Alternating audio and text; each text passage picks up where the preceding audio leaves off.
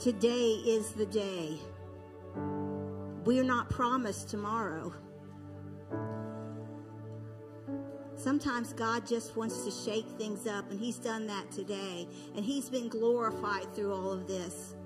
And so, as we continue our worship with communion, we want to welcome those that are watching online to participate with us. And if you did not receive communion elements when you came in, would you raise your hand?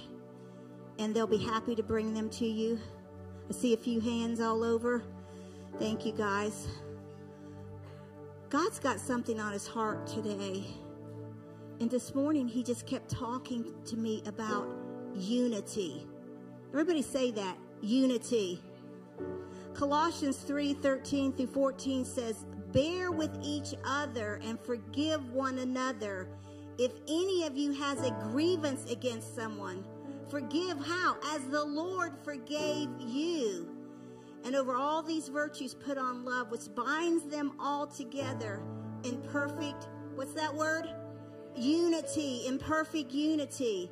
And then in 1 Corinthians 10 17, it says, For we, though many, are one bread and one body, for we all partake of that one bread. So when we come together on a weekly basis, to take communion, we're coming together in unity. That's what's on God's heart. It's a word for this church today. I really believe it. And we got to see what unity looks like when, when the body came around. And I saw so many people wiping their tears. When we begin to cry out for something that's on God's heart, that's what unity looks like. And this morning, I just could not get this off of my mind. I just walked around the house and I kept saying, as much as it depends on me, let me live in unity. As much as it depends on me, let me live in unity. As much as it depends on me, let me live in unity. After you said that 10 or 15 or 20 times, God then gets a hold of your heart in such a way that you can't explain it and the tears come up. But whenever I have a scripture like that in my mind, sometimes I think, maybe I don't have it exactly like the Bible says. So I looked it up, Romans 12, 18. It says, if it is possible, as far as it depends on you, who is that you? Everybody point to that you. Yeah, that you is me. Live at peace, but it says, with everyone. I wasn't saying that. As much as it depends on me, let me live at peace. But God says, with everyone. That means even the people that I don't necessarily gravitate to. God loves every single person. And today I believe that's why we did some deliverance in the house. Because we have not been in unity in the way God wants us to be in unity.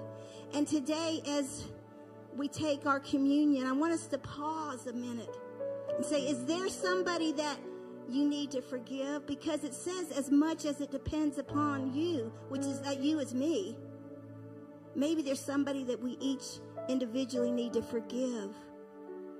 And maybe it even requires you going to them. Maybe it requires after church you making a phone call. I don't know, only you, because it's about us being in unity for the glory of God. Let's pause for a minute.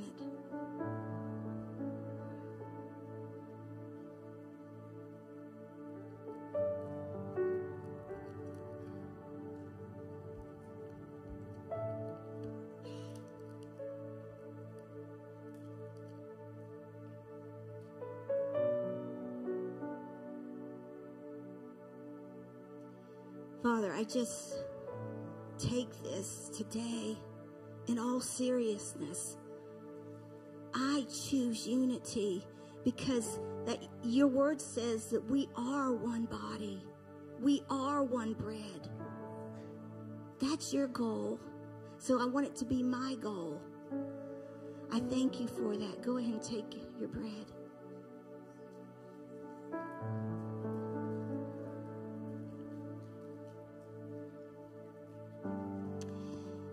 Lord, as we take the juice, we are reminded of all that you did for us on the cross, the price you paid through your death through your burial, and through your resurrection. May we never take it for granted.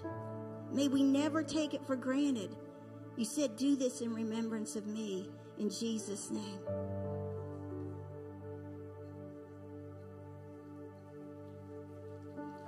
I want to remind you that communion is one of the tools that God put in our tool belts. And we're going to have a bucket of communion to take with you. I did communion with somebody in the locker room this week who has a cancer spot on their head. Did God heal her? I don't know yet. But I believe, I believe, help thou my unbelief. I want to encourage you to begin to pray for people and take communion with them wherever you're at for the glory of God. And all God's people said, Can I welcome my husband and your pastor and apostle, Pastor Pete Mullins, in Jesus' name?